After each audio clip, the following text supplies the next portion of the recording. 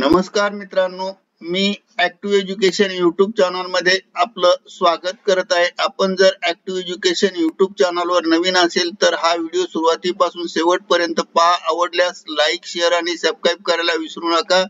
तर चला महत्त्वाच्या ब्रेकिंग न्यूजकडे मी बोलतो आहे. ब्रेकिंग न्यूज स्पष्ट करत आहे. नियम मोडणाऱ्या शाळांवर कारवाई करा. आमदार माधुरी मिसाळ यांची मागणी. पुणे दिनांक चार कालच ही प्राप्त माहिती प्राप्त झाली असून वर्गात शिक्षक शिकवायला येत नाहीत. शिवाय मुला मुलींसाठी स्वतंत्र स्वच्छता गृह नसल्याने आरोग्य त्यांचे धोक्यात आले आणि गंभीर समस्या निर्माण झाल्या आहेत. अशी टीका करीत पुणे महानगरपालिका प्राथमिक शिक्षक विभागाच्या कारभारात आमदार माधुरी मिसाळ यांनी विधानसभेत शुक्रवारी आक्रमक पवित्रा घेतला.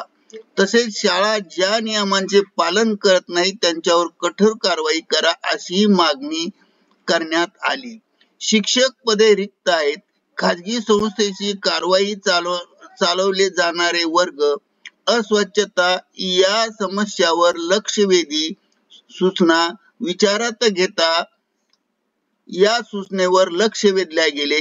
सरकारतर्फे उदय शर्मा सॉरी उदय सावंत राज्यमंत्री सरकारतर्फे मंत्री उदय सावंत यांनी लक्षवेधीला उत्तर दिला. ते म्हणाले की पुणे महानगरपालिका विभागाकडे एकूण दोनशे बहात्तर प्राथमिक शाळा आहेत. त्यापैकी मराठी माध्यमाच्या एकशे पंच्याऐंशी शाळा असून इंग्रजी माध्यमाच्या बावन आहे. उर्दू माध्यमाच्या त्रेपन्न सॉरी तेहतीस आहे. कन्नड माध्यमाच्या दोन शाळांचा समावेश आहे. या शाळांमध्ये दोन हजार चारशे पंचवीस शिक्षक पदांना मान्यता असून त्यापैकी तीनशे बावन पदेही रिक्त आहेत.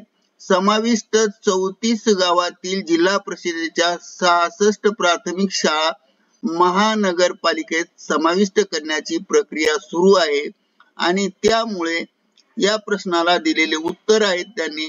आणि म्हणून यामध्ये स्पष्टपणे असं म्हटलं गेलंय की आयुक्तांना आदेश देऊ. शिक्षण विभागाच्या आयुक्तांना आदेश देण्यात येईल.